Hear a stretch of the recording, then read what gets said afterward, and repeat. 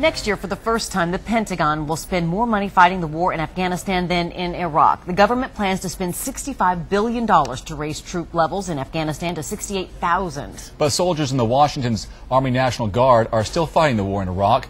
I recently spent two weeks embedded with the 161 and went along on two missions outside the perimeter of Joint Base Balad. Tonight, we wrap up our series assignment in Iraq with the second of those missions, a nighttime convoy.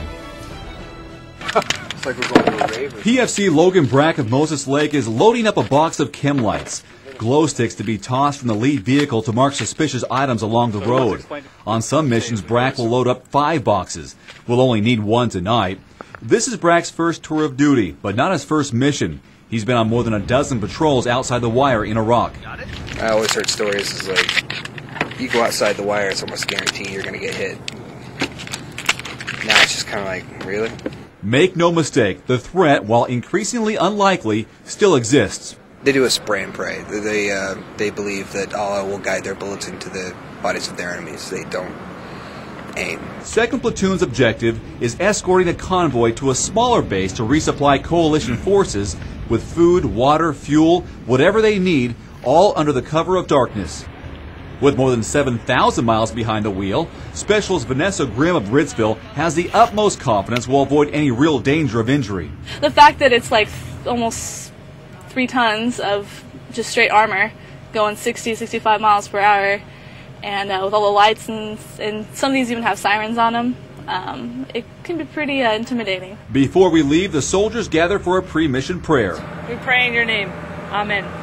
Have a good mission. Thank you, Take care. Now that the platoon is all set, we head toward the gate to meet up with the supply vehicles. My gunner Rebel takes a camera to give us a view from atop our vehicle. The journey takes incredible coordination and planning to safely escort semis through hostile territory. All in a day's work for our soldiers. This is my first official nighttime convoy mission. I'm inside an MRAP, a mine-resistant armored protected vehicle. Our trip from JBB to forward operating base Warhorse should take anywhere from 90 minutes to two hours. But only an hour into the ride, one of the supply vehicles breaks down.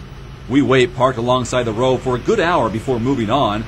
Me feeling like a sitting duck, but the crew calm, but growing impatient.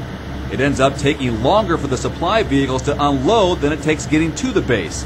Total time round trip, about seven hours. We arrive back at Joint Base Balad just as the sun begins to rise. It took us a little bit of time to get down there, but we made it. Uh, successful mission overall. Nobody got hurt. Everybody got back safe. So. But the mission wasn't without its drama. There were some fireworks. Just after midnight, PFC Brack got a surprise.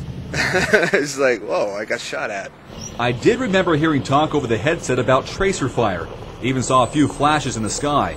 Turns out we took on some ground fire. An individual with an AK 47 popped off around 12 to 15 rounds in my general direction. I heard the buzzing of the rounds, all that other kind of fun stuff. It's pretty interesting. Tracers and all.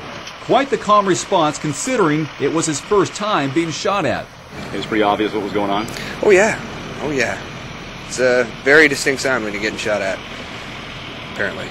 But apparently not enough to faze PFC Brack, at least not in front of his fellow soldiers.